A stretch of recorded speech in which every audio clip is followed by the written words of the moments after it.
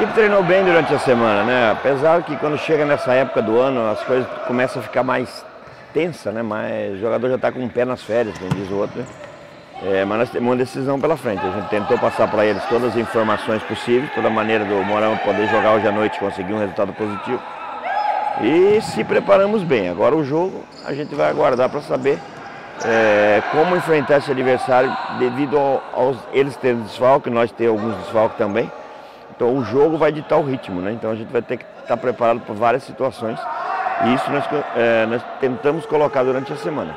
Os jogos agora de final de ano, eles sempre são mais complicados, porque o jogador já está saturado né, de tanto jogar e tanto participar de competições. E pega uma semana de preparação cheia, coisa quase não tinha durante o ano, tinha muitos jogos, né? E jogar é mais fácil que treinar na realidade, né? Então, é, mas o jogador também sabe da responsabilidade de representar bem o Morama e de buscar esse título. Então a gente sabe que vai ser difícil. Agora, é, Laranjeira está com um time muito bem montado, muito bem treinado. Tem jogado mais que o Morama em outras competições. Está com um ritmo um pouco melhor.